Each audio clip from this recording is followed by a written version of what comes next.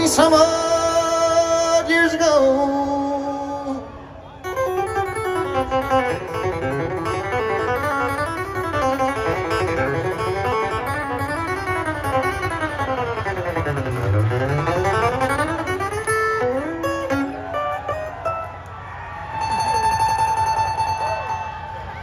I ran away for the first time when I was only three years old and my feeble man.